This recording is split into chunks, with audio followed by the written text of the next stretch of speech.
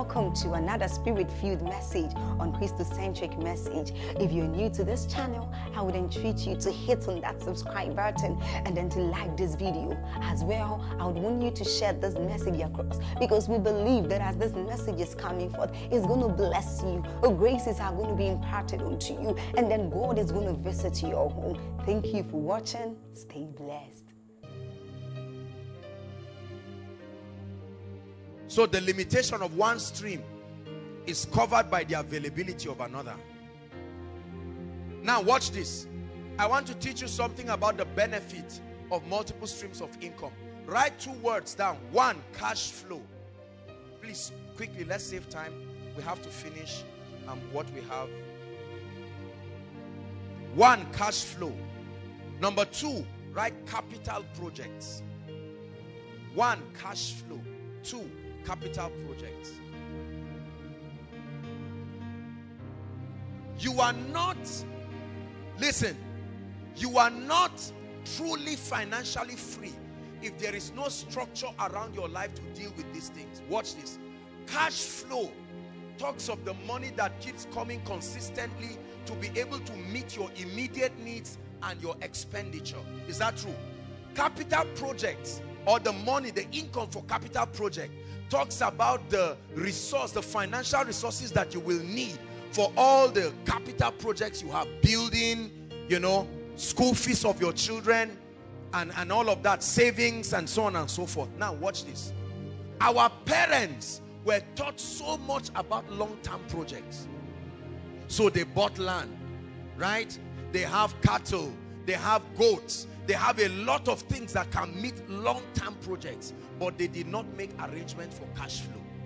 So you can see a man that owns 10 houses, but he cannot produce 10 naira to take his child to the hospital under emergency. You will think the man is stingy because you that's how many of our parents, many of us now think our parents are giving some other people money. They may not necessarily be doing that. They are just financially illiterate and they are suffering the consequence for it. So they do not they didn't prepare for today. They were focusing so much on tomorrow. They forgot that it's until you are alive today that you can meet tomorrow. Are you getting that now? So they forgot that there will be needs. How many houses have you gone to that you know the people are rich and sincerely they cannot bring out 1,000 naira to go and buy chicken somewhere and just come and prepare it because the man is broke. He may say, I don't have money. You think he's joking, but truly, truly, there is nothing. That's a poor financial life. Yet he has land. Right? Yes, he has resources. Who owns this container? He's the person. Who owns this Coca-Cola depot? He's the person, but there's no provision for this. Now, the trouble is, in a bid to remedy that, the younger generation, our generation has focused entirely on cash flow to get money to always be in your pocket and we're forgotten about tomorrow. You see the mistake? So I need money now. I want to buy the watch of 20,000 now. I want to buy the trouser now. So you see somebody and say, man, this guy is rich. The watch of 20,000, shoe of 15 or 20,000. You are wearing a suit of this. You calculate everything on him and he's standing. He's wearing 200,000 and you are beguiled to think he's very rich. Steal everything he's wearing becomes a beggar instantly because he's not preparing for tomorrow. Are you getting what I'm saying? So financial literacy is the ability to keep that balance such that you can eat today, you can live well today, and then at the same time prepare for tomorrow. There are many of our parents, you will start enjoying their money when they are 80 years. At 8 years, the project they started 20 years will now come to fruition.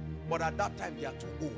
They can't do anything. They would die and leave it for uncles who will swear that they will charm you if you don't leave that money alone. And you will quietly just leave. Are you seeing that now? And then we, the younger generation, are so obsessed. I'm amazed to see the way our generation is so obsessed about producing instant results. Watch people that graduate. Everybody wants to show I'm working. I now bought a car, a BMW, and um, I don't. I no longer use the road. I now fly. I fly. I fly around. I'm flying to this place. I'm flying to that place, and then you carry your phone and say, "This is this is iPhone iPhone what? iPhone 6. Have you seen the speed of the internet and so on and so forth? And then we use this to lie to ourselves that it means we are rich. That's why every rich man will look at every small boy just behaving and nod his head and say this guy is about to regret it. Unfortunately, most of our sisters have been trained to identify those kind of people and define them as being rich. So you come back and say, is that brother that asked me and they say which one, the poor one or the rich one? And then you say the rich one, meaning the one that held that phone, the one that the, the watch or the shoes and all these were glittering. You, are, you will be in big error. Because if you neglect today, you will die today and never meet tomorrow. And if you concentrate just on today, you will enjoy today. If you wear the cloth you should wear tomorrow, today, you walk naked tomorrow. If you eat the food you should eat tomorrow, today, get set for hunger. Are you getting what I'm saying? So my goal in the teaching tonight is to be able to help you structure your financial life such that you will be able to at least have something to live by and then prepare greatly for the future. Praise the Lord. Hallelujah. Thank you, Jesus, for wisdom. The key to activating multiple streams of income.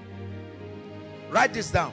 You do not activate the stream just by blindly starting up many businesses. Now, I listen to business people a lot and I've had the privilege to be and speak in a few conferences.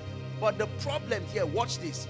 For many people, the danger huh, is that they just tell you, go and start up a business. Aside from your job, do something else. That teaching is very sincere but misleading. If you have received that teaching, I want you to throw it away now and listen to what I'm about to teach you. Because for many people, that's, that's the circumference of your business seminar. Are you getting blessed? So they've told you, together with the job, start something. Anything, just start. No, sir. You will start and fail and fail woefully.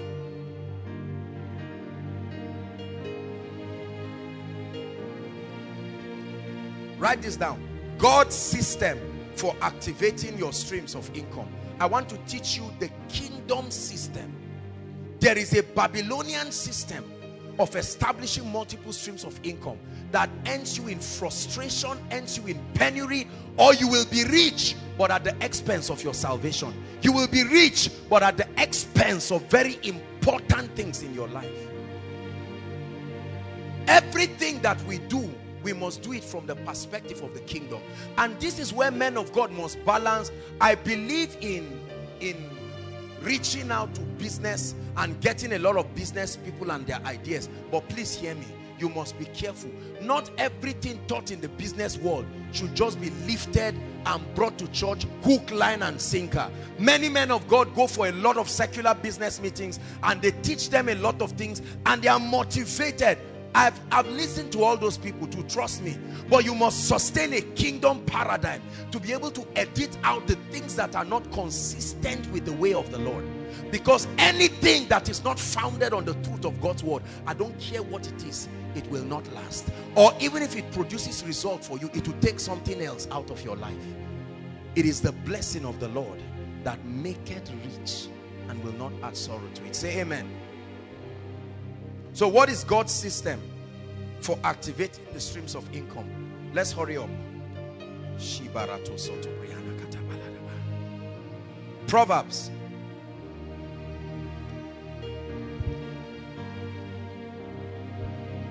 The book of Proverbs, very quickly.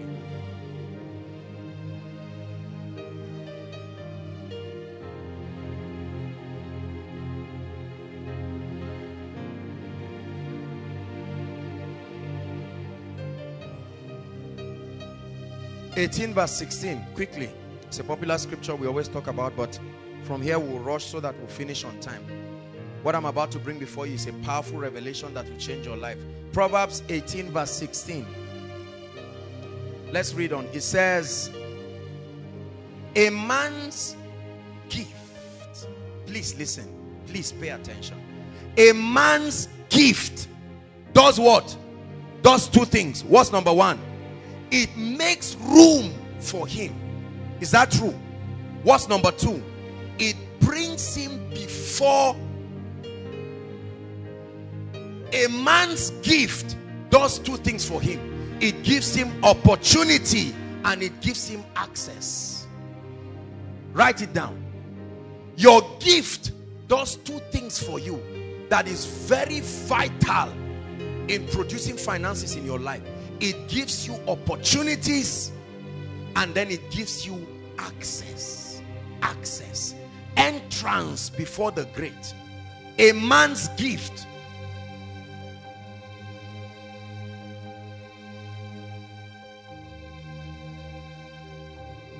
So how do you identify the streams of income in your life?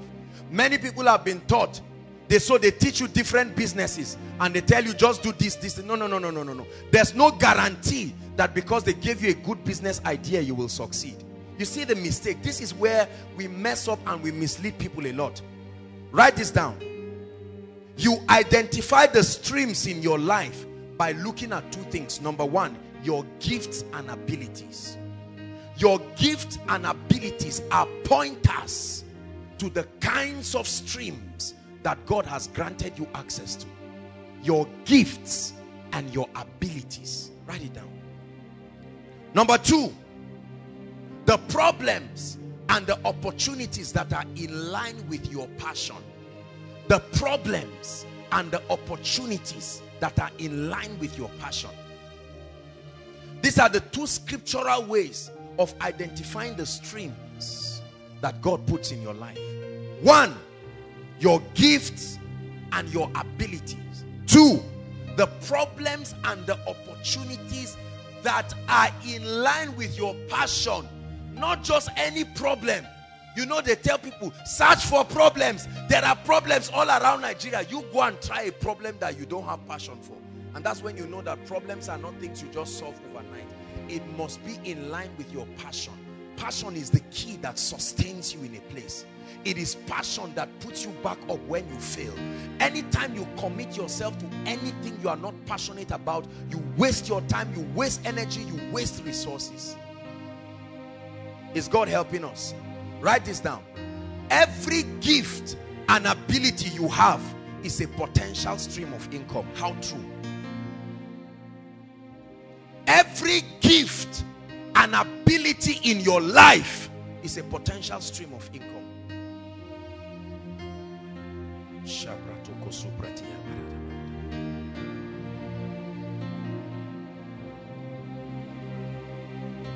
Every gift and every ability you have is a potential stream. Look at David for instance. Almost every gift the Bible identifies in David later became a stream for him. His ability to play, right? His ability to be faithful in service. His leadership skill. Everything was utilized in his life. I'm about to make a statement that is very striking maybe controversial, especially for pastors. I want you to listen to me. Do not let men box you into one stream and stop you from exploring other streams. Don't get into that illusion of making people box you because they identify and they know you as functioning in one stream. If you are not careful, people can put you in a box. They know you as a pastor and you remain a pastor and die a pastor. There are other streams crying for expression. But the religious environment keeps people down and keeps people poor. There's a lot that I want to say here. How many times have many pastors with great entrepreneurial potentials, with great leadership potentials, there are other streams of income that can find expression but they are boxed to the pulpit and left there. Why? Because people say you are a pastor and the meaning of that is remain there be poor there and die there.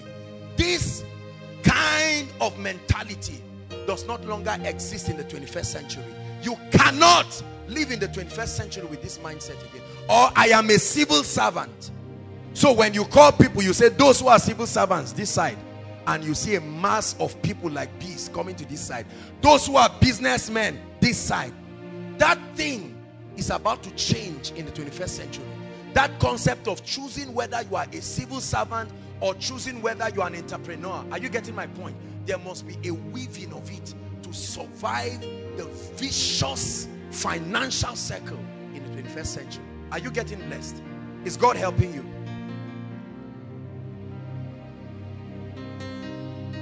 There are many pastors. I say this with a particular bias for pastors because we have said pastors are wicked people because pastors have been caught in all kinds of financial scandals in church eating God's money. Pastors have been found manipulating people and doing all sorts of things. And the reason is because they have to respond to the necessary frustration that comes by having a single stream of income. Now the man is a pastor and is earning 20,000 with five children, right? You can imagine what that is. That you give a pastor a house and one car does not mean he will not need money again. And they themselves have not been educated they have not been taught. They lack financial literacy. Are you getting the point now? So the pastor has to necessarily keep preaching messages that will manipulate people into because the pastor's children must go to school. Is that not true? The pastor must also eat. Some of you, after the service, you go to the pastor's house. 10 people immediately after, after service and all of them deserve to be fed.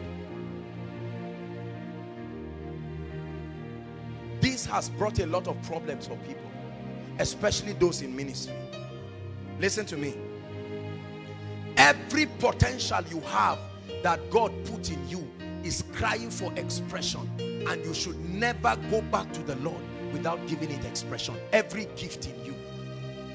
I plan in my life that every gifting and every potential His Majesty has deposited in my life will be adequately deployed. Praise the Lord. There are so many things. That's why many pastors are poor. That's why they are broke. One of my greatest mentors, Dr. Miles Munroe, a man who was able to cut across both the secular and the contemporary society, utilized his potentials. As a pastor, he was the senior pastor and the founder of Bahamas Faith Ministry International. And yet, at the same time, brothers and sisters, he was a consultant for 16 presidents. How many? A consultant, an advisor to 16 presidents. At the same time, he was so notable, the Bahamian nation had to make him an ambassador. Imagine that. And then at the, at the same time, he owned an aircraft company, not aircraft. They are busy shouting that people are buying jets. Many of you may not know. Let me explain it to you. What it means, it, he, he not own one aircraft Boeing 737. No, no, no, no, no. He owned a fleet of aircraft, the very company that deals in it. And yet he was a kingdom man. He lived well on earth and is gloriously honored in heaven. That's why he was a man of integrity.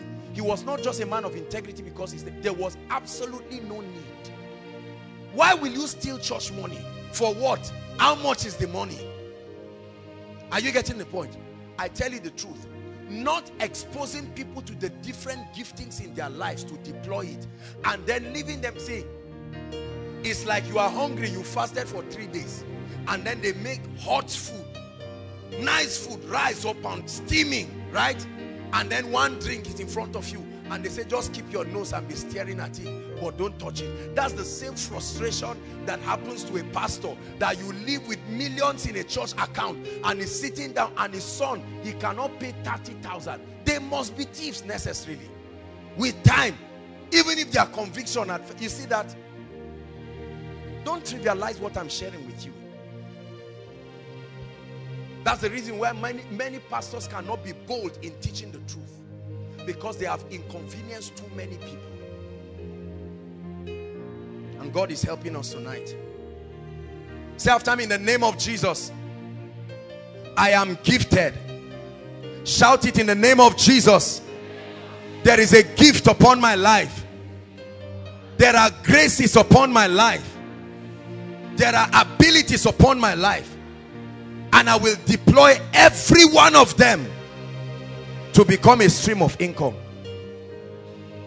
Even if God tells me to drop ministry today, I will never be poor for the rest of my life because there are other streams. Are you getting me? Before God called me, I was doing something. Is that not true? You see, many of us act as if, oh, God found people lazy. Go and read your Bible. Everybody God called into ministry, he called from, he called them from a standpoint of diligently doing something. Moses was tending his father-in-law's sheep. Is that true? Every single one. Peter, they were all fishermen. God does not call lazy people. Please don't make it look like being in ministry is a license unto laziness. There are too many things I can do with my life to bring me stream of income. If I'm not a preacher, at least I can speak. Right? There are so many things. There are books to write. I have different thoughts on different areas. I can document my persuasions. There are all kinds of financial and business vehicles to set up. So don't you see a man of God rich and just think it's church money or just think and think eh, are people not dashing them money. You see articles blackmailing men of God all around and saying a man who was poor but now he has, as though he's not supposed to be blessed. People are arguing and complaining about one jet, two jets. My goodness, I don't know what will happen by the time we come. If we need 100 jets, we will buy all of them. I guarantee you. Very unapologetically.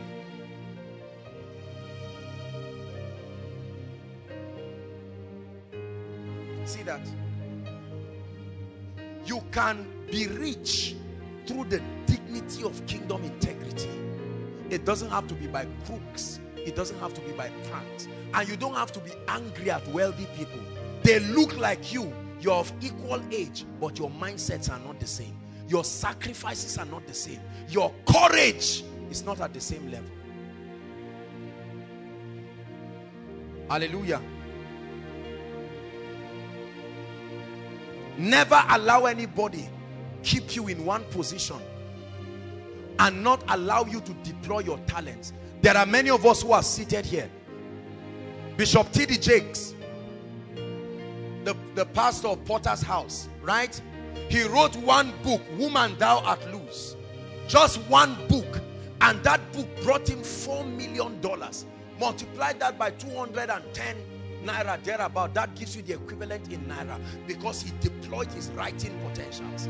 It became an added stream of income. When people were insulting him for living in a house of 2.1 million, I said, come on, give the man a break. He didn't steal anybody's money. Why will I be worth 10 million, 20 million, 100 million and not live in a house? How much is 1.2? How much is 2 or 3 million compared to 100 million? Don't insult people. If a man buys a car of 20 million, don't insult him and say he's extravagant. Compared to what? You are gauging his success based on your level. Compared to what? You see that? These are some of the poisonous mindsets that have destroyed us. We never forget, we forget the fact that these guys are see their tape ministry, the books that they have written enough will feed them for a lifetime. Just the books. Bishop Oyedepo, for instance, I hear that he does not even collect one naira from his books. And there are at least 60 books he has written. How many of them are bestsellers? Yet we, we, are, we are the first to criticize people and run down men of God and run down people because how much is the peanuts you get from congregations compared to the wisdom. See, the Bible says, if any man lack wisdom, let him ask, not let him criticize those who are walking in it.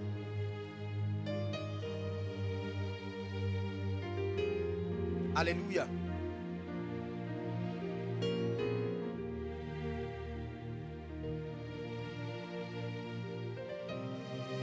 Ministry for me alone with all the blessings of ministry is only one stream of income. There are so many of them in my life that have been developed and others are still being developed. I will never be poor. It's not about being a preacher. It's about realizing that once there is a demand for what I do and I train myself in the ability to see to do it. When you are sleeping the wealthy people are awake studying seminars, doing a lot of things, right? And then we see them rich and we criticize them. please, I want to say this koinonia from today. Never develop the attitude of criticizing wealthy people again. You will never be like what you resent. Anything you drive away from your life, you can never be like it. Honor is the seed for access.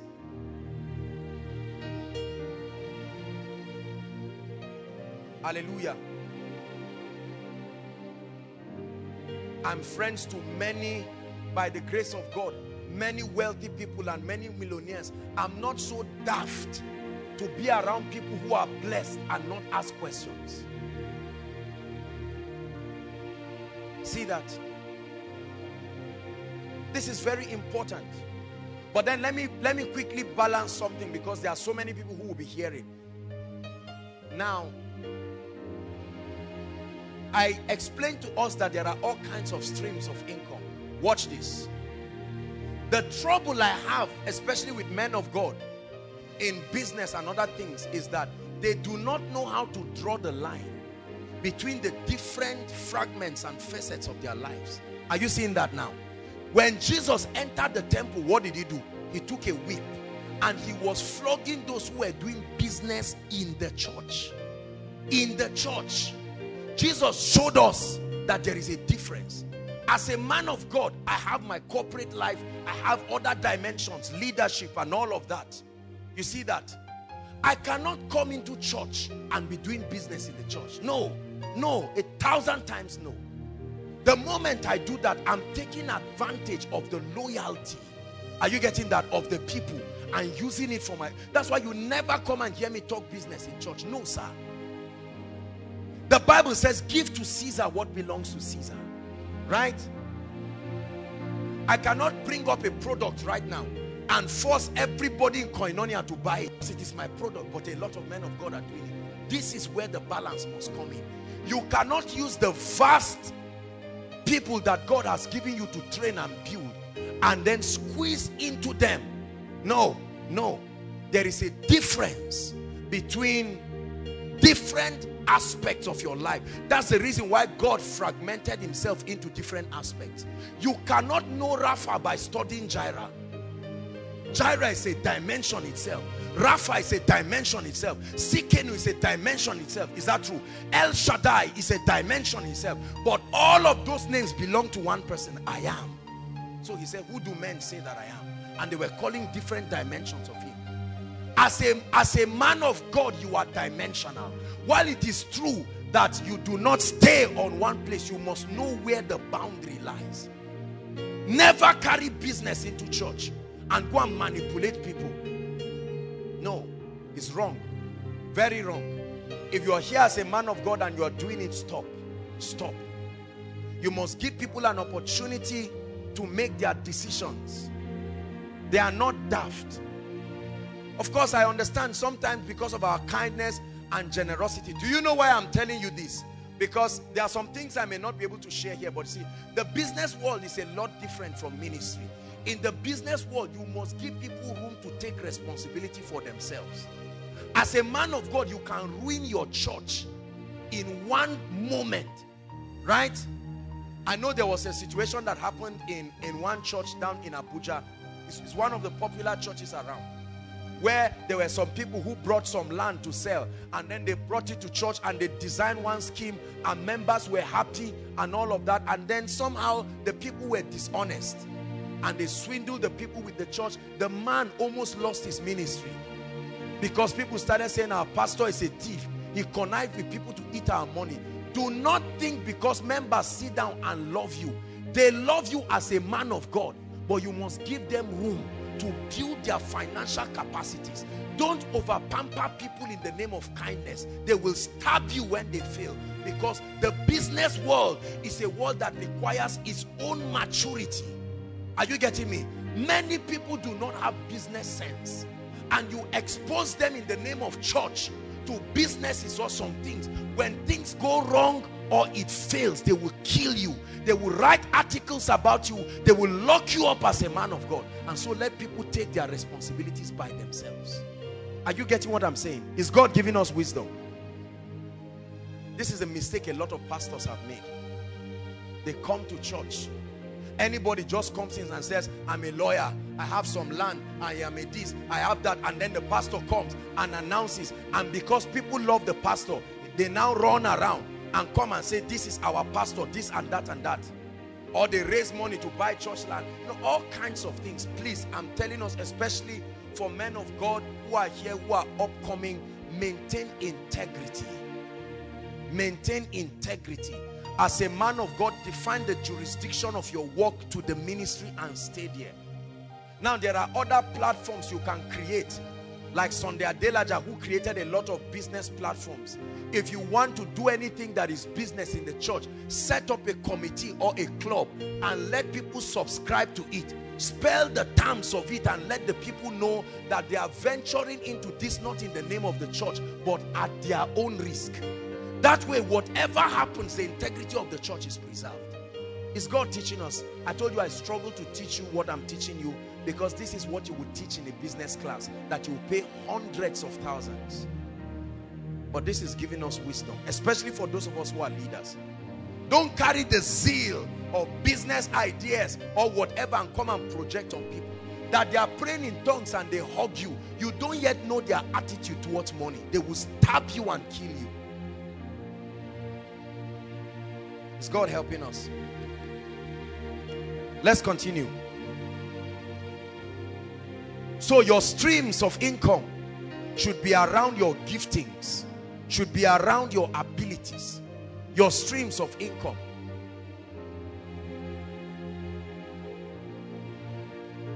Now look up. I want to teach you something, please. Very important now.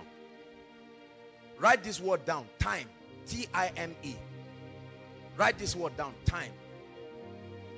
Your life on earth is measured in time. Don't forget this. Your life on earth is measured in time. That means whatever you give your time to, you have given part of your life to.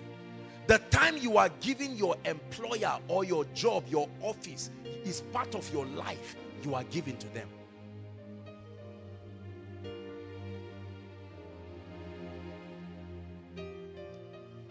Write this down. Focus on activating streams that increase your income without eating up your time. Focus. There is only limited time you have. Everybody has only 24 hours. You cannot have 25 hours in a day. So if you generate streams of income around your life and all of them require your time and your active participation, you will wear your life out and you will be ineffective. Wealthy people focus on activating streams that increase their income without necessarily eating up their time. Let me give you an instance. If I write a book right now,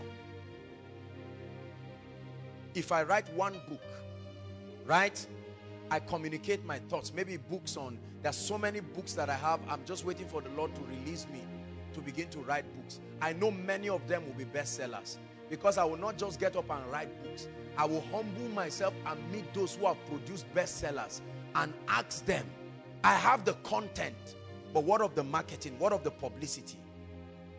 Never do a thing until you have consulted with the best of the best. You will minimize mistakes. You will make instant progress. So I can write a book right now, for instance and then release it. And I can be here preaching and somebody is buying my book in a bookstore. Doesn't know me, has never seen me, may never see me, right? And then income is coming into me. Millions and millions of income coming because I'm documenting my persuasions. And there are many areas I can write on. I can write on the anointing.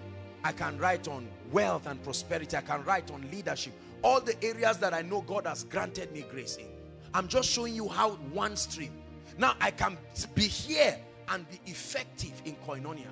Another thing for instance, if I build an estate, you see that? If I build an estate, there are people renting, I don't even know them, I've never seen them for instance, but I'm here teaching the word. My time is being invested to the principal thing I've been called to do, but there are channels that are bringing me are you getting what I'm saying now? Very important. If I teach, assuming that we're selling our teachings, imagine the hundreds of millions would have made by now on just the media ministry.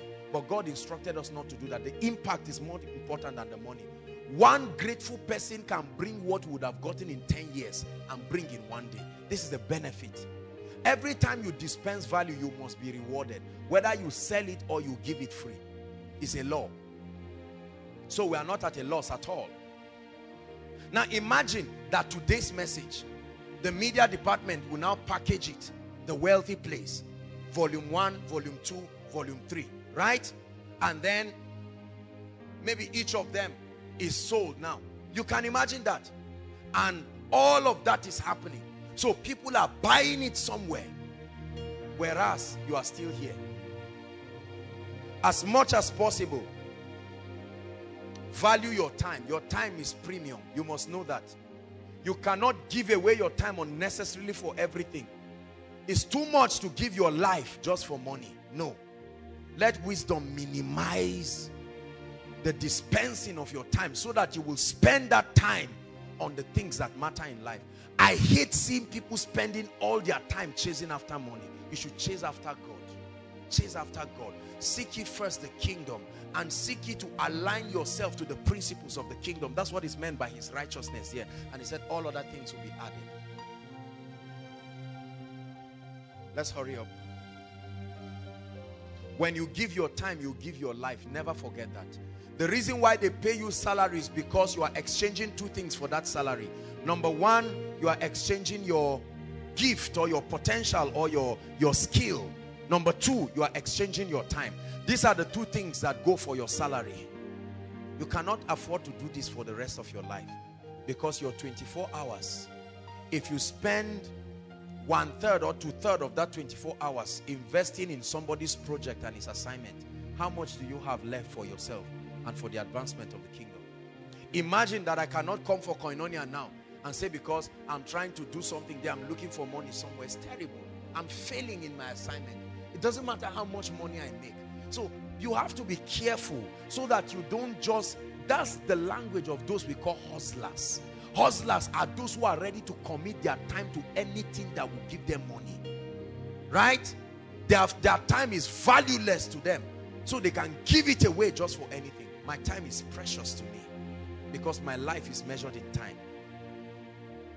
God gives me the gift of 24 hours every day and I focus on doing the things that are consistent with my vision and my assignment. And while it is true that I want to activate streams of income, it will not be at the detriment of my assignment. And so you must structure your life in such a manner that you can activate multiple streams of income and then at the same time conserve your time as much as possible. Praise the Lord. Write this down.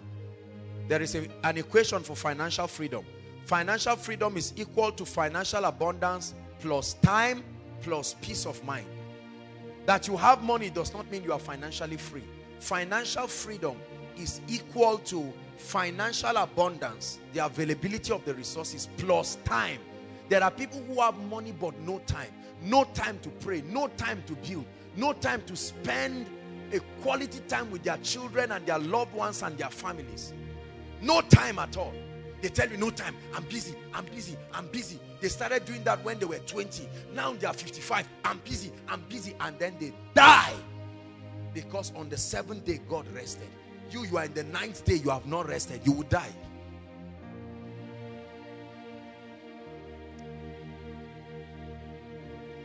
Hallelujah.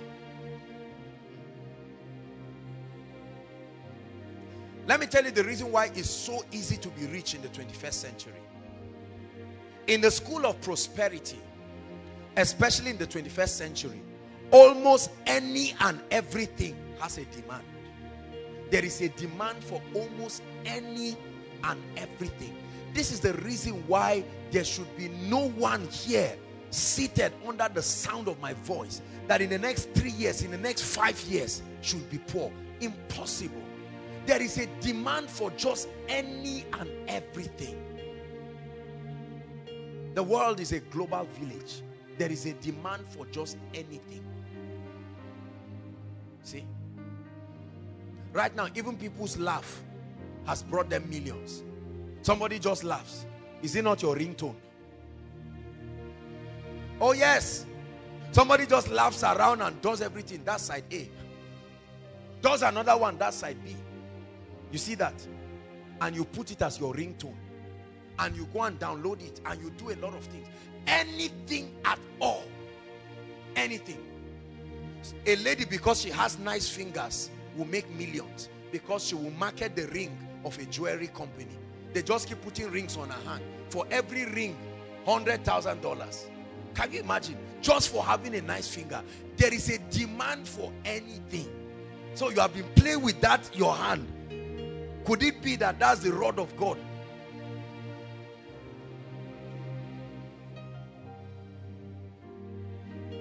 Just for being fine. You can wipe poverty away from your life forever. Right? Just for being not fine, you can still wipe poverty away from your life because you can be used in both ways. It depends on the message that is being communicated. I'm, I'm just, I'm speaking generally.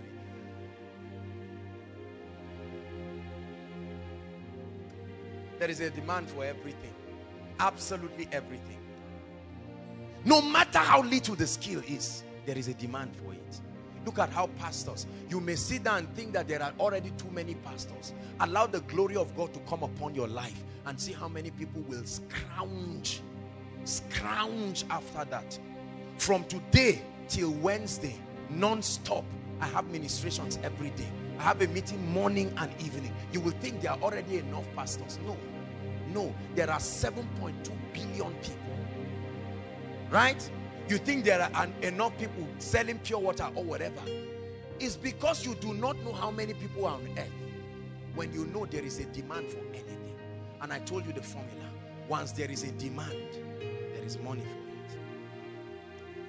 You go and meet somebody and say, borrow me 10 naira. He'll tell you, I cannot. But sell something, he will pay you for it. In the 21st century, brothers and sisters, you are only limited by your creativity. You are only limited by your creativity.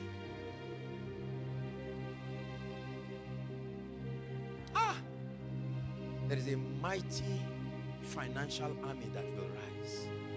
Even if you don't pay attention to this, I know that there are millions of people who will take this message and will run with it. There's an army rising up.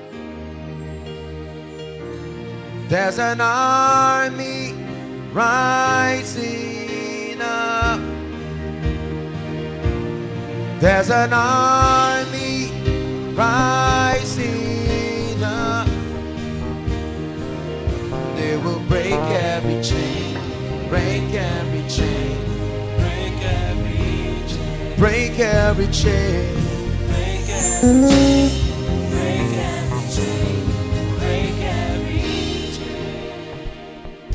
Write one word down. We're almost done.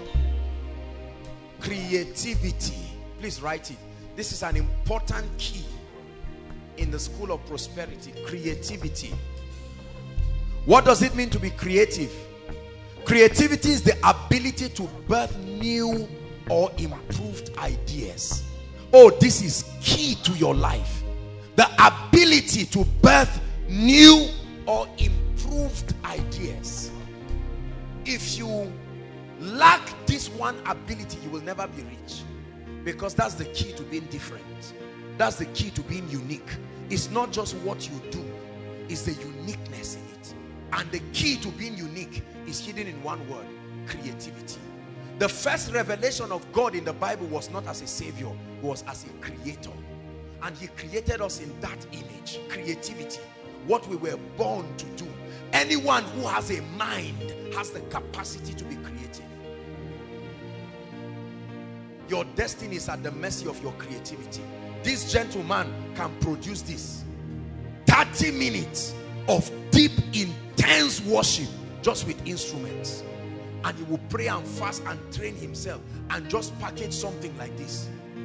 He can call it anything. The dew of heaven, part one. Millions of these copies will be sold because people will put it in their phones can have a contract with most of the the, the, the, the, people, iPhones and, and iTunes and all of these people, and they can put it, they can even put it by default in many gadgets. And is blessing people. Millions of people are buying it. And this guy is getting blessed because there is a demand for everything. That's why Don Moen will never be poor. I know you gave your life to Christ at his song, but he became rich because you bought the thing.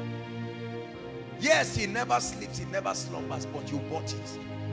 Or at least it was given to you.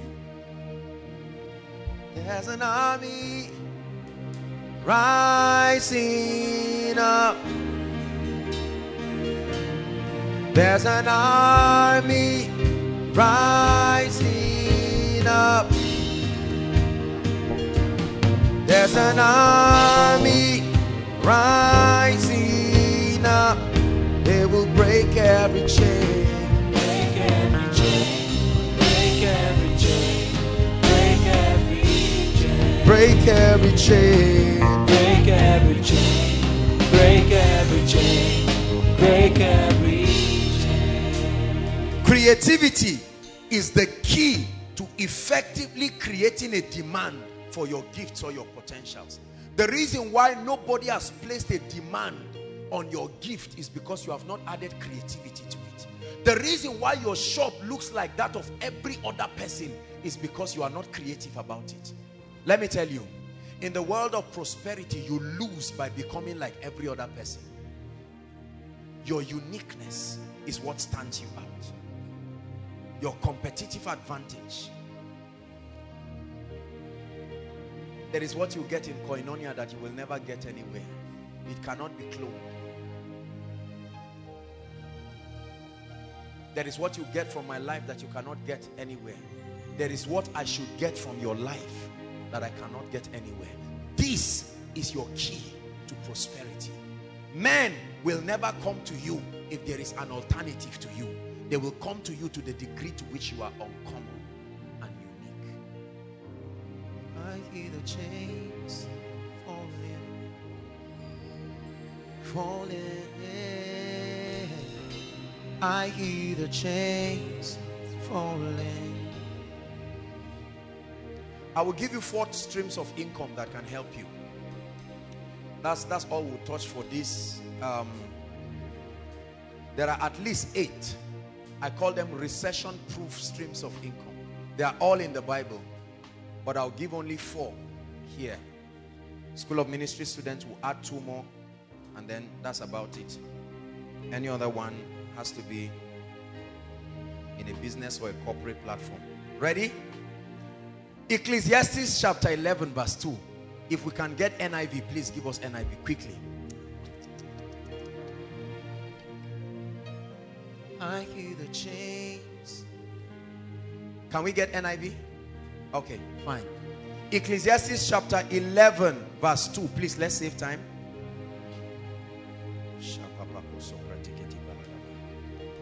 Will you break every chain? Break every chain.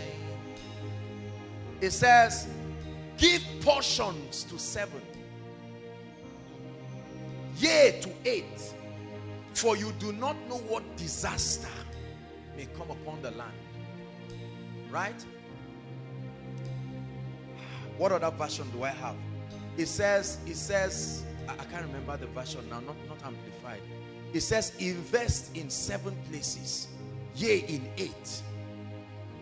Um, what was that version? I don't know. One of these new versions. For you do not know what disaster may come upon the land. In other words, scatter your streams Right?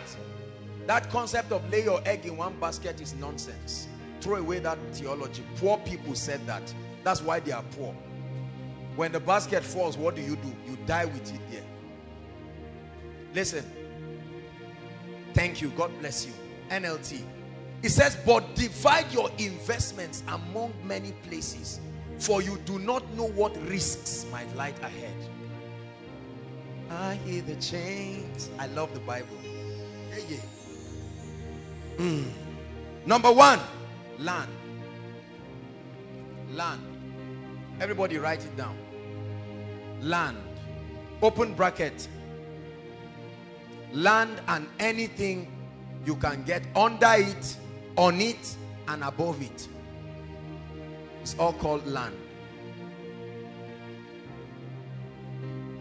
You know it as real estate, land. Together with anything under it, on it, and above it. Look at me. You are not rich if you do not own land. Are you hearing what I'm saying?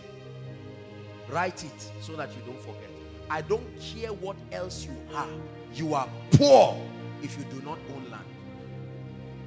Because land is a fixed asset. It cannot be stolen. Even if a bomb falls on that land, it can only affect what is on it. You will not see a big hole suddenly looking at you. Land is one of the greatest communications of God's justice and mercy upon the inhabitants of the earth. I'll stop there. Land. Two, education. I'm giving you four fail-proof streams of income. Under education, write the following. Anything, whether speaking, writing, or setting up structures that transfer knowledge. Education is all about imparting knowledge. The Bible gives us a clue into becoming rich. He said before the coming of Christ, knowledge shall increase. There will be an unsatiable demand for knowledge. That means anything you do that will transfer knowledge to people is a guaranteed source There's nothing to hide. There's no secret about it. There's no secret there in the first place. Education, speaking. How many people rake in millions of dollars every week just because they are able to communicate? They are not just talking, they are transferring knowledge.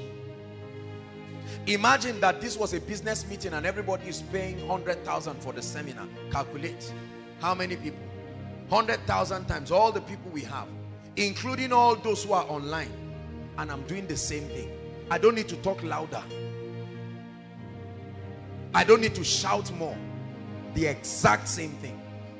10 years after I have preached this, or I've said this, or I've delivered this lecture, I will still be getting paid from it. Education. One of the cheapest aspect of education is writing. The ability to document your persuasion. For as long as you think there is something you want the world to hear, you can document it. The only problem is what many people call book writing is nonsense. They are just hungry people looking for money. So there is no excellence and no creativity. And at the end of it, only 100 copies are sold. And the bookstore tells you, please get out. But there is a key. Purpose-driven life. Right? Rick Warren, that one book brought tens and hundreds of millions of dollars. It was so profound, they had to create a workbook for it. Love and respect. There are many books that have become bestsellers, rediscovering the kingdom. Because individuals documented strong persuasions that rattled the ideologies of continents. Could there be a persuasion in your life right now? That you need to birth and bring out. You are sitting upon a gold mine and yet you are crying. Crying for food and crying for water. The only limitation to your life should be the voice of God, not lack of creativity. Is God speaking to us? Education. Number three, your job. Your job. Paid employment. It's a stream of income. So your job is not bad. You can get a job. At least you receive salary from it. And the beautiful part of that is that your salary can solve your short-term needs. Because you know every month a fixed income is coming. So it can give you room to focus on other things that will take time to build.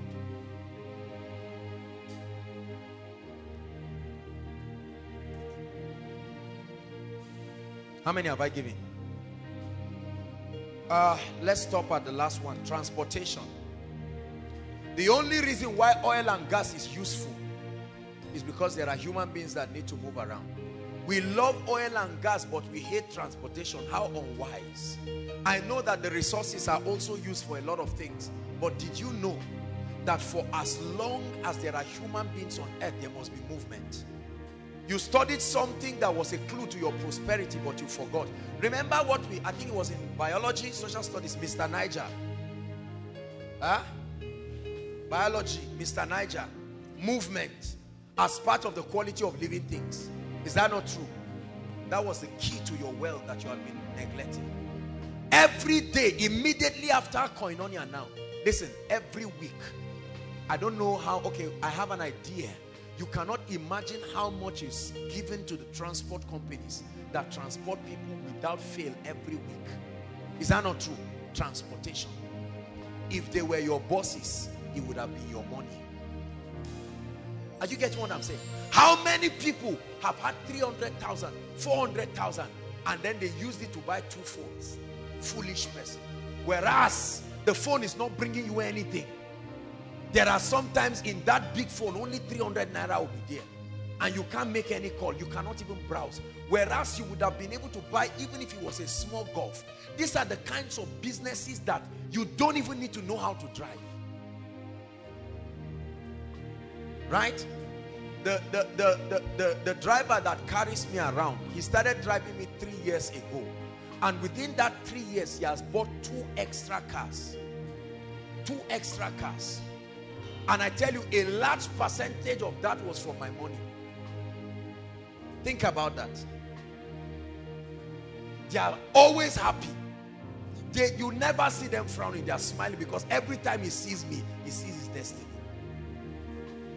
And for as long as I need his services, I will keep paying for it. How many of you are sitting on millions, hundreds of thousands, roaming around, whereas or trying to get rooms and apartments to prove a point that does not have to be proved. You want to show people now you live in a three bedroom flat that is empty with one small mattress in one of the rooms and people think you are a big boy. You are not big, you are small. Whereas something would have been bringing you income. Let me tell you something. The transport sector is a mysterious sector people have never studied. It's a sector that starts bringing you money instantly. From the first day the car goes out, by evening money is coming. 5 a.m in the morning brothers and sisters there are people who get up begging whether it is town service whether it is wherever.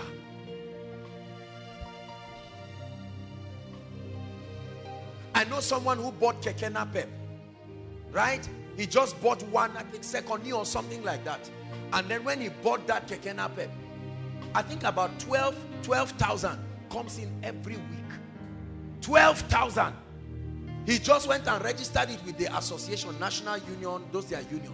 And then he's around praising the Lord and giving tithe every week. And you are saying, this guy, is he a thief? No, no, no, no, no. Do you have to be smart to do that? Necessarily. You just have to be poor. And that's why I told you, there is no reason, brothers and sisters, for people to be poor. What's wrong with five people coming together? You all have 50, 50,000. Have a very well-defined term. You don't need to wait till you have one million. What's wrong with three or four people coming together? All of them having 100,000 and you buy a golf. In four, five months, you are broken even and you can buy another one and then buy another one. While that is happening, you are busy increasing your financial intelligence. How much have you spent from January to this year? To, to now? Some of you, millions. Look at how many of our parents are sitting down and getting angry at people how many times did they pay them arrears of millions? What did they do with it? They went to a club and called friends and blew the money. They blew one golf away in one night to prove that their arrears has arrived. And yet we keep blaming God. But tonight God is giving somebody intelligence. You don't need to register any company. You don't need to know anybody.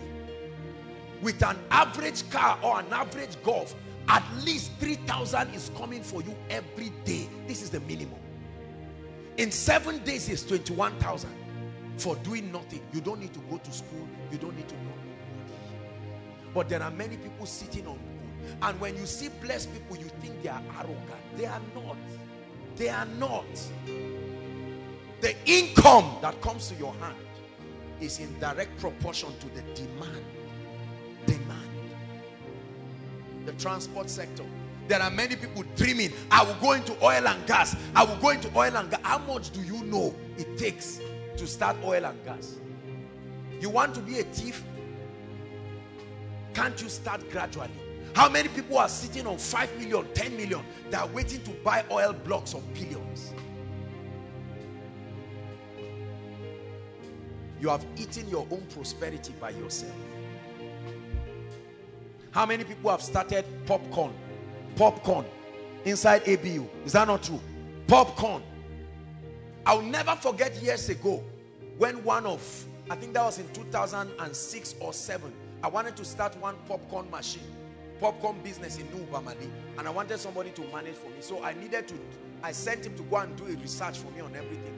I was surprised when the, the owner of the popcorn said he makes 5,000 naira every day. Every day you are eating, you bought it 30 naira, but many just like you are paying for it. And he said during orientation and uh, uh, what do we call it, graduation, matric, it can skyrocket to as much as 15,000, 20,000. There is no single ice cream machine in Zaria. Not that all those ones that uh, they, they, put the thing as if it's stuff. I'm talking of real, a standard. Look at this. There are many of you sitting down. What's wrong with 10 people who come in with creativity? About 250,000 will buy that thing and go and open up something. I guarantee you, in one month, you will make your money back. That's how desperate it is. Um, I like ice cream like what? There's a place in Abuja, every time they see me, they're happy because they, my money will finish there. I can't make it, so I must pay for it. Whatever you cannot do for yourself, be sure to pay for it. If you ever get it free, someone paid for it. Who is God speaking to tonight? I'm showing you streams. I'm a student, I'm young. Very soon you will find out that the difference between you and graduation is one exam.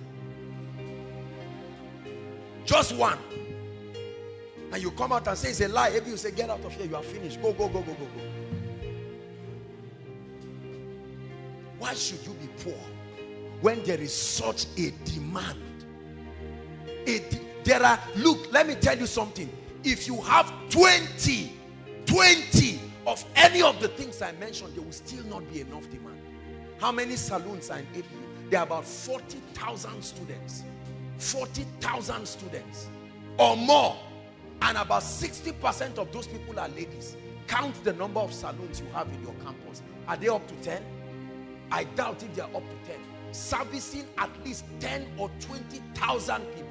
If you have 1,000 more of those things, it will still not be enough.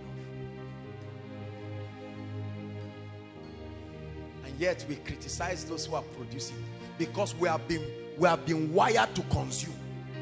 That's all we do. Those who produce are the ones who are. Many of us are, are going into food. Question. If we don't buy the food, why don't you get into businesses that do not need refrigeration and all of these things? I, I don't know about you, but I don't like things that give me heart attack. You see that? That's why I hate businesses that have to do with many people. One person's fight with his wife will affect my diligence. I don't like that. I like to be responsible. I like to be responsible for my, my diligence or otherwise. I can't let another person's carelessness cancel everything I've done. No, if I do well, let me be commended. If I do bad, that's why all those kind of things, shipping vegetable from here to Port Harcourt, I won't get into those kind of things. You can do that, but no way. So if the man is drunk on the way, I suffer because of his drunkenness. I don't like those kinds of business. This is me personally. You have been sitting on a gold mine, wishing that things will change. But God is speaking to you, especially for those of us who are working. You are earning your 50, 50,000. Why don't you close your eyes and be determined that for the next six months you are going to save? Let me tell you something. Write it down. Never borrow money as much as possible. Or don't borrow money as as, much as possible. This is a difficult thing, I know. I'm human, trust me. It's a very difficult thing. But I want you to make a vow today with your life that as much as God grants you the grace, you will never borrow money. The borrower is slave to the lender. Say it after me. Borrowing will put you in slavery forever. You can be addicted to borrowing. Borrowing is like drugs because it comes easy. When you borrow five naira, you will borrow 100,000. You will borrow 5 million until you find out that you are in debt of 500 million and you cannot know where it came from because of borrowing. A borrower. Some of you as you are sitting down right now, not just from anything, maybe business failure whatever, your own personal debt that you have eaten, everything you are wearing and the room you are staying off key, you borrowed money for it. You are smiling, but there is a pile of debt that is growing and you are borrowing to keep servicing it. You will be a slave forever. It is one of the Babylonian system. That's why you notice I never talked about borrowing. I'm sorry, I know that this insults a lot of your business but I don't believe it. In business, we teach that there's good debt and there's bad debt. You use good debt as a leverage, you use bad debt for consumption. No debt is the kingdom's way. No debt. Say it. Shout it again.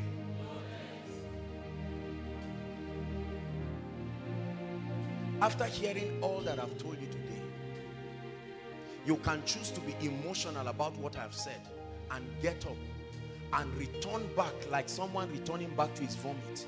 Or you can make up your mind and say, this is it. I've come to the end of myself. Lord, I'm ready to begin to take decisions. Listen, the key to producing anything in life is to adjust. The most predictable thing in life is change. Change is the most predictable thing. Whether you participate in it or not, it must happen. There are two kinds of people. There are victims of change and there are initiators of change.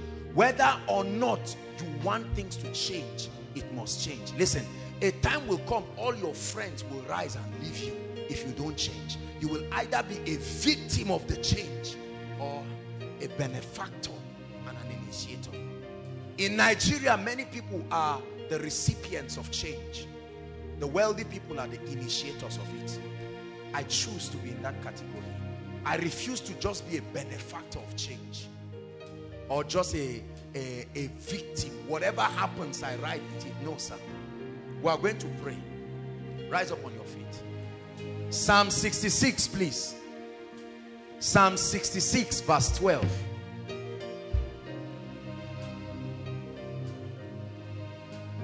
Psalm 66, verse 12.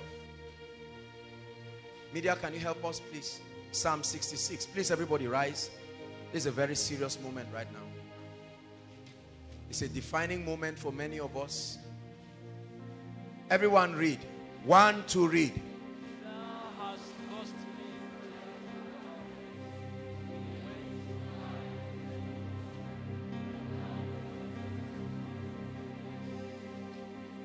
It says we went through fire. We went through water. We went through times of hardship and turbulence. But by your wisdom, you have brought us into a wealthy place. I announce to you, Koinonia, there is a place called the wealthy place. There is a place. It's a place of plenty. It's a land of abundance. And it is absolutely left to you. I read you a scripture that the profit of the earth is for all. Take over, take over. I have come to the end of myself. Take over, take over. I have touched the end of myself. Hallelujah, hallelujah. I have come to the end of myself.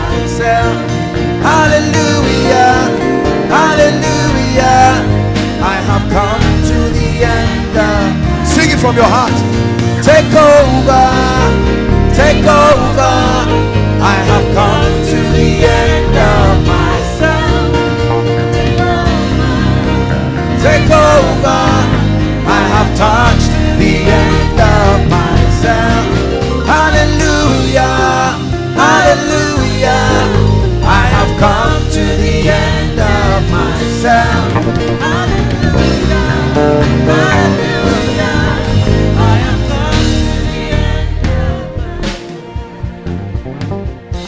I still remember it as clear as yesterday. The night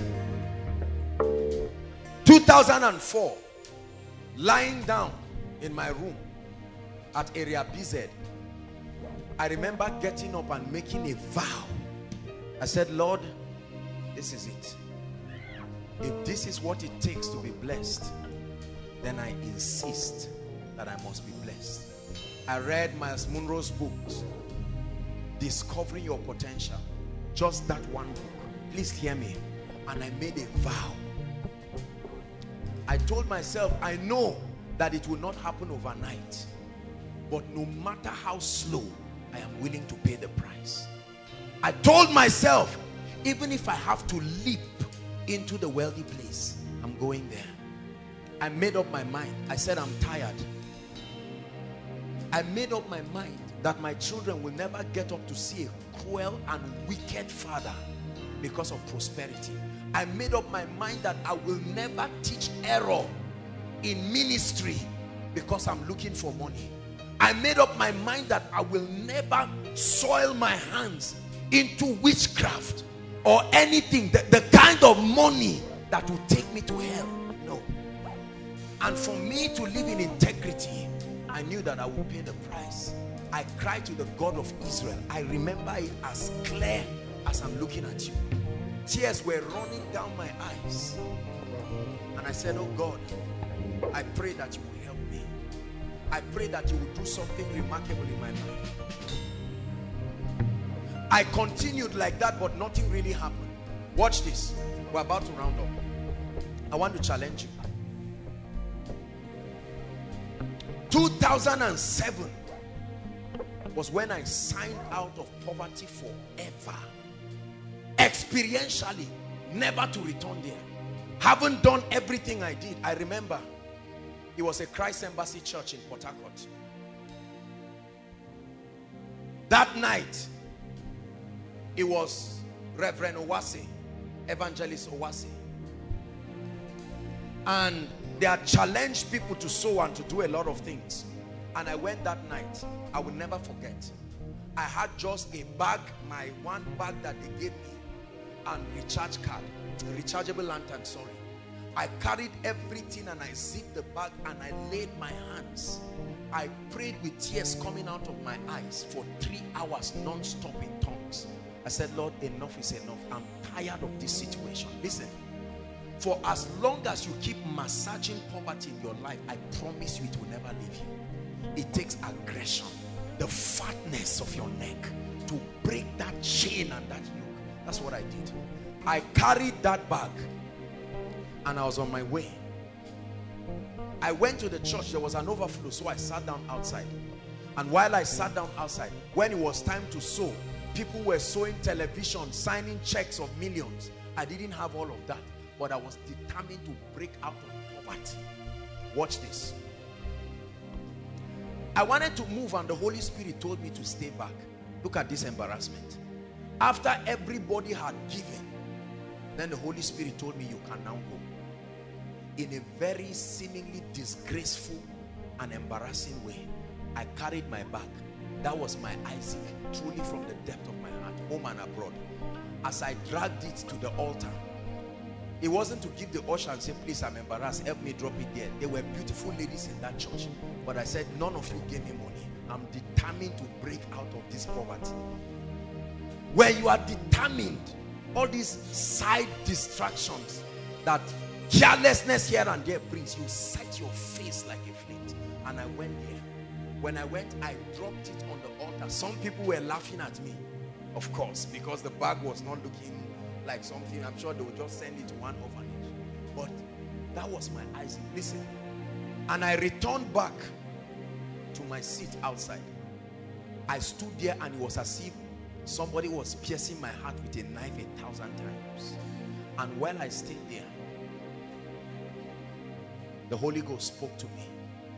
And he said, son, from this day, you have entered wealth. That's what the Holy Spirit told. He said, from this day, you have entered wealth. I will never forget.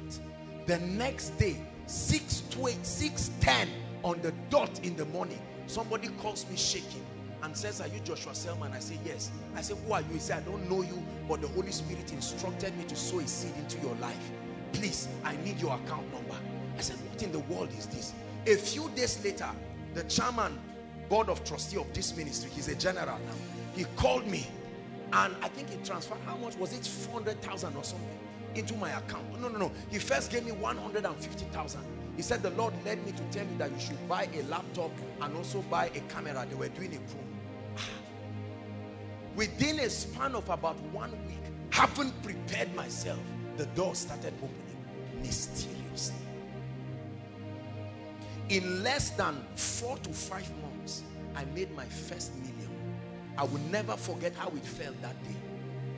Not borrow, not father's money, not uncle and auntie, not our money. I just stood there and I said, there is a wealthy place. Time will never change anything. Decisions do. I'm going to challenge everyone to sow a seed. If you don't believe in what I'm saying, please stop. We're rounding up. The Lord led me to do this. I'm going to challenge everybody. I want you to sow a seed. It's very important. Help. I can help. It's not about money. You know that we're people of integrity here. But I want to challenge you to sow a seed. Even if it's not something you can do now. But I want to challenge you. Something that you will connect with and say, Lord, I'm tired. Please, if you don't believe it, you don't need to argue. Just, just remain where you are. But I have seen. This is the correct context in which sowing of seed comes into place. Not just telling people, sow, sow, sow. No, no, no, no, no. When you guide them and this foundation is there, then you will sow. There is a minimum offering. There is a minimum amount. I can never give God less than that for the rest of my life. I will be a wicked person. No! I put a benchmark, not in the house of God again. I want to pray for you from the depth of my heart. We have called it the year of the rain. I don't want to fool you. We are not native doctors. There is a law. Please, I want you to package a seed and lift it up. Take over. Take over. We have come to the end of ourselves. Take over. Take over. We have touched the end of ourselves. Hallelujah. Hallelujah. We have come to the end of ourselves. Hallelujah. Hallelujah. One more time, just one time. Hey, take over. Take over. I have come to the end of myself.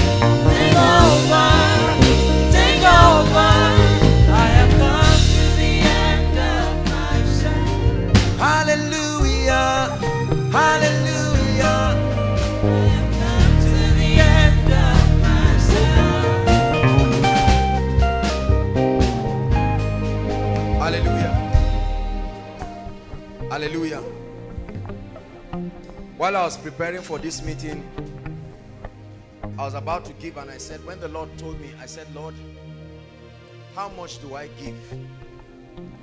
When the Lord mentioned the amount, I said, wow, serious. But if it is for you, there is no amount. No amount.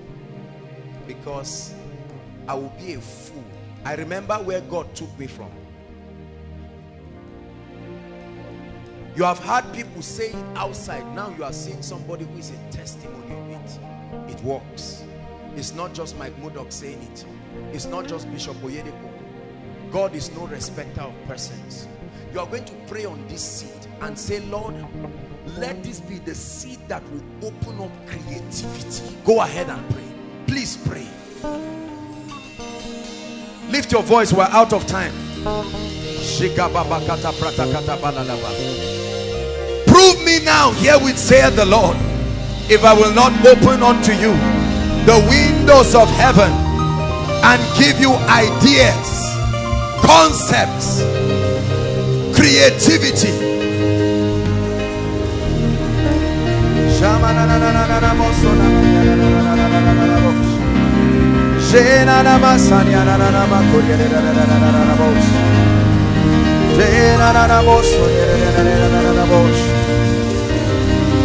Please pray.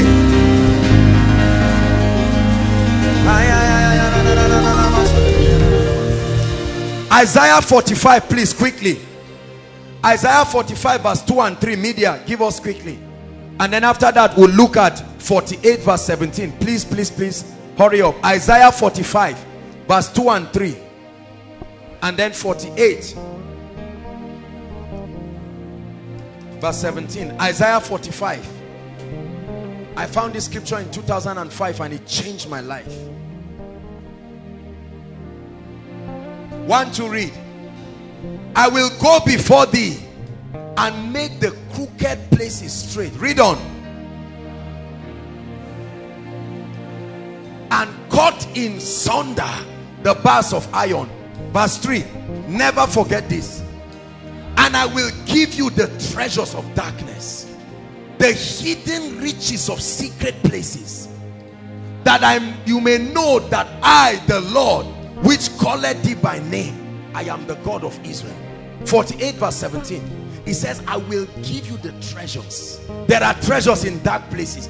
Hagar was in a place where there was water but she thought she was in a wilderness. When the angel appeared suddenly she saw the water it takes this seed is the seed that will open you up to opportunities and open you up to all kinds of things. Read verse 17 everybody.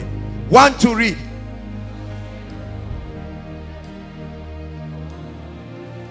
I am the Lord thy God which teacheth thee to profit. I can lead you to the business. I can connect you to the people I can show you what financial vehicle can turn around your life. Lift your voice and pray in one minute. Lord with this seed turn around my captivity. Are you praying koinonia? Like the streams of the Negev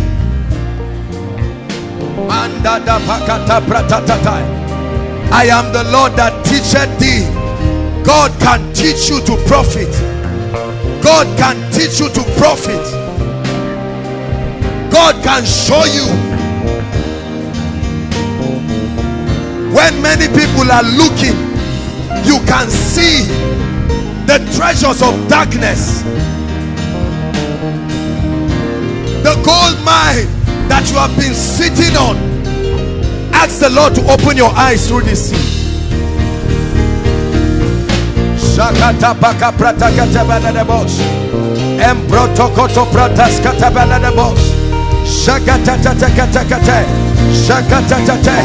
Is the year of the rain. Is the year of the rain. Is the year of the rain. Is the year of the rain. Lord I'm tired of this financial level.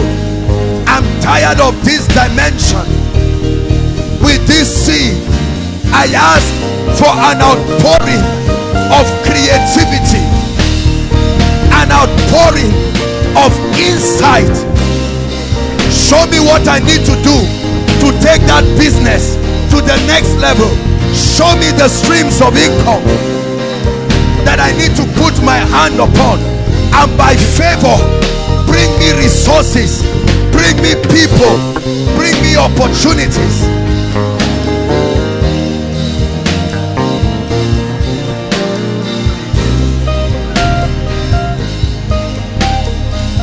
they know not neither will they understand.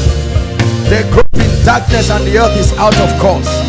Have I not said ye are gods and all of you are children of the most high but you shall die like men men and fall like one of these princes. Hallelujah. Lift up your seed above your head as I pray for you. Father we mean business with our financial destinies Father, in the name of Jesus Christ, these seeds that are lifted, cause be me and my generation if I've misled your people and if I've deceived them. But Lord, if what I have taught your people is the truth of God's word, I pray that there be a performance. In the name of Jesus Christ. Lord, in a mysterious way, beginning from the month of July, open people up to mysterious dimensions of wealth. In the name of Jesus Christ. For some of you, God will connect you to business ideas. For some of you, you will rise up like giants and begin to activate streams of income. And you will never have to beg another day in your life again. Father, I pray that as a result of this seed, may there be an anointing that will move them into putting to use what they have learned.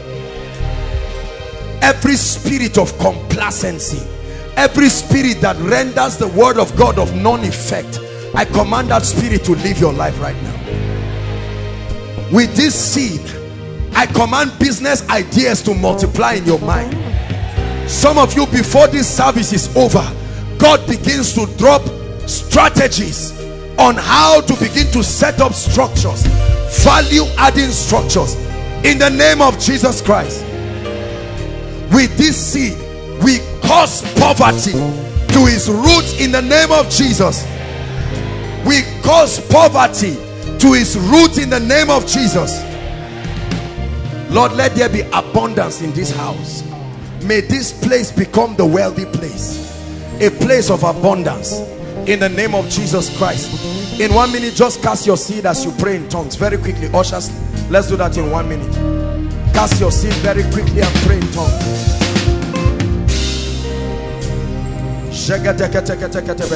Pray. My story is changing, oh God. God is not a man that he should lie, not a son of man that he should repent. Pray in tongues quickly in one minute. Mambratoka soto labakatelia. Shagatakatakatabela de boss. Manta pratas katapalia da pako soto. Hallelujah. Hallelujah.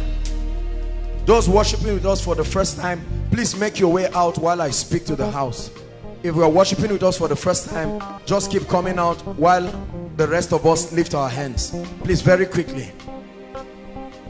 Those worshiping with us for the first time, inside and outside, make your way out here and the rest of us lift your hands. In the name of Jesus, I prophesy upon your life that tonight, in your sleep and in visions, and in dreams may creative ideas be released to you in the mighty name of Jesus Christ I pray for you from the depth of my heart that the resources to begin to activate the streams of income as much as you need receive it right now. In the name of Jesus where you have been stagnated and confused on account of your sowing in the name of Jesus I pray for you. This night that chain of stagnation is broken. For those of you who have sowed this seed for your families I pray that the same way God is changing your story may he change their stories in the name of Jesus. For many of you between now and miracle service you will come and testify of new financial streams. Multiplied favor in the name of Jesus. May God give you grace to be men and women of integrity. In the name of Jesus I pray for destiny helpers. May God send destiny helpers to help you set up the relevant businesses and to take your ideas from dreams to fruition in the name of Jesus. Your hands are blessed blessed with an anointing to prosper. Where you have failed go back again and my God will lift you and honor you. In the name of Jesus Christ. Those who have laughed at you very soon they will begin to laugh with you. In the name of Jesus Christ I pray for courage for you. In the name of Jesus. It takes audacity to begin to take bold steps. Receive the grace to take bold steps. No more waiting. No more waiting. I kill the spirit of procrastination. Beginning from tonight I challenge you no more waiting. No more waiting. It's time to arise. It's time to shine. And it's time to break forth. In the name of Jesus. Lift your hands and give God praise. Hallelujah. Those of you worshiping with us for the first time, thank you so much. Um, this is our financial series, The Wealthy Place. Thank you very much for coming. This is Koinonia, a meeting put together by Eternity Network International. Thank you so, so, so, so much for coming. And for all those who invited them, thank you so much for this sacrifice. We're here every um, every Friday, and we invite you to be part of us next week again as we have another dimension of God's word. We want to pray for you. Your life will never be the same. Stretch your hands, saints of God, and let's speak over their lives. Prophesy. You're on your way to better days. That's our prophecy to you. For coming here, we are praying that the heavens are open over you. That the ideas that you have received, the insight, the change, the mental revolution will change your life forever. We bless you with hunger for God. We bless you with insight into scripture. And we pray that your financial destinies will turn around forever. In the name of the Lord Jesus Christ, I pray. Amen and amen. Thank you so much. I'd like you to just um, follow the gentleman waving his hands. They'll welcome you more warmly on our behalf. And then they'll have your details and you'll be back to your seat. God bless you. Celebrate them koinonia this way. Just follow the gentleman this way. Thank you so much for coming. Hello, beloved in Christ. We hope this message was a blessing to you. I would want you to do something for us. If you are new here, kindly hit on that subscribe button for us and then like this video as well. Share to your family and friends to bless them because we know that this message will be a blessing to their body, to their soul, and to their spirit. We would need you to do one thing for us too. Tell us in the comment section where you were watching us from, and if you've got any testimony for us, kindly share with us. Thank you for watching.